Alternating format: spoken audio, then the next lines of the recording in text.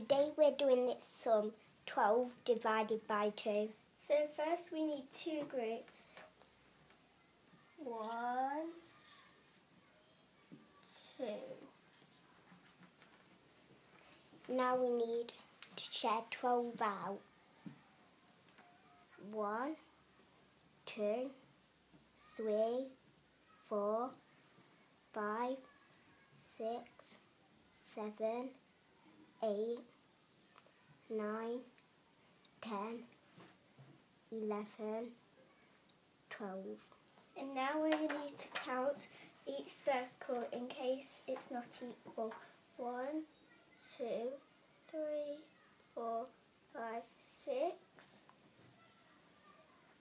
One, two, three, four, five, six. And the answer's six.